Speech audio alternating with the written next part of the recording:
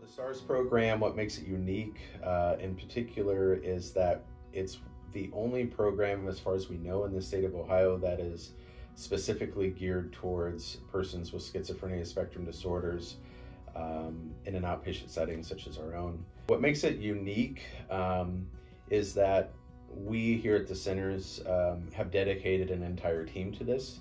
Um, oftentimes, uh, coordinated specialty care programs across the state, they'll take a, a you know a, a, therapist and put part of their time into a first program, a, a, doctor you know part of their time into it. So it's kind of piecemeal together, which is fine and, and it can work that way. But we wanted to take it a step further. We wanted to create a team that sole purpose was to provide these services into the community. That this is their focus. This is what we're tasking them with, and that we wanted to make sure that they had the best training around those evidence-based practices to uh, make a difference.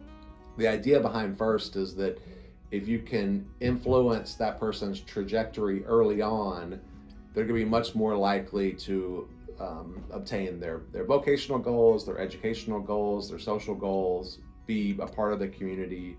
Well, it's wraparound care, but it's also based on the most recent, right, scientific recommendations. So it's not that I've been, you know, practicing and just have my three medicines that I'm that I'm comfortable with and familiar with. And I don't treat people based on how I feel. I treat people based on what the data supports. Right after their initial episode of psychosis, when they've been into the hospital and had some degree of stabilization, they really do require specialized care on an outpatient basis. And now, all of our colleagues that are working in inpatient psychiatry um, are aware and are making active referrals to our program. In contact, talking about treatment plans and talking about ways to help our clients and meet their needs. Um, and this is on a weekly basis, and I feel like that helps us as a team build together to make sure we give our clients what they need.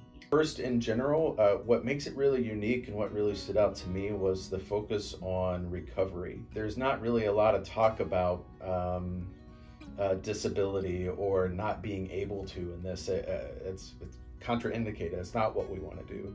Um, our main purpose is to work with these adolescents and young adults and help them get back on track uh, in their life and whatever that looks like to them. Through the STARS program, we do have uh, family psychoeducation programming. Uh, this is a, a, chance for the family and their uh, loved one um, to come together and learn about what psychosis is, what uh, schizophrenia is, if that's an appropriate diagnosis for them, um, to talk through how to communicate, how to better support each other um, what to do if there is a crisis, do some of that crisis planning ahead of time.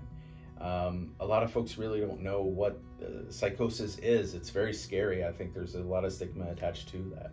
Um, and so these um, family psychoeducation groups is, is meant to help um, kind of demystify a little bit, uh, to provide hope to the families that their their loved one can um, uh, move forward and recover. So this program is unique in the way that we are able to, you know, reach the community very different than traditional outpatient where you just come in and you kind of meet with your providers.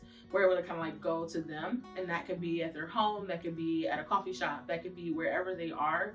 Um, and I think that's unique because sometimes we don't have the means to kind of come into a brick and mortar facility. So being able to meet them where they are, especially when they're struggling through so much, is like monumental. Um, I think that um, it makes it completely unique in in a way we're able to just like provide those resources. Not only just with you know counseling but psychiatry all of our service lines we're able to kind of be flexible. Um, so i think that's what makes it unique. I think that we're able to offer very specialized and targeted support to these people. Um, and so I think that is really what makes us stand out. I think that there is a lot of anxiety that comes with getting any diagnosis, um, but especially one as stigmatized as uh, psychosis. Our team is very diverse. Um, we do have a lot of representation, so I think that aids in our ability to to notice that there's a cultural difference and be more competent when we are making these decisions and making these diagnoses. We have a lower caseload than a lot of other treatment programs because we're so specialized. Um, and so that's a big benefit. But if somebody has something urgent that, for whatever reason, if their caseworker or if their psychiatrist is just not available, um, they're able to go to the urgent care and talk to someone right then and there so that way they don't have to wait until their next appointment or wait to be called back. One of the most, I think one of the most critical parts is that they have intentionally created a team of truly of experts, an expert clinician, but I can see that the case management team and the therapists are all um, well trained in understanding individuals with that are suffering from schizophrenia, and I think that is huge. Um, I think it is one of the reasons why my daughter has been able to connect with the team so well is they know how to draw information out of her. I think this program may have saved my son's life.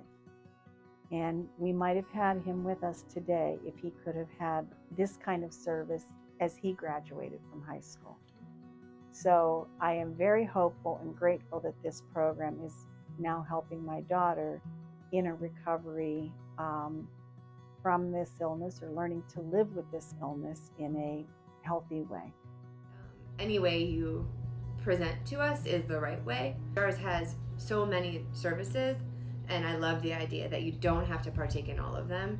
Um, there's no wrong door if you have schizophrenia and you are um, in need of services. I think at the centers in general, there's no wrong door. Um, and so, whichever door you come through is the right way and we'll get you where you need.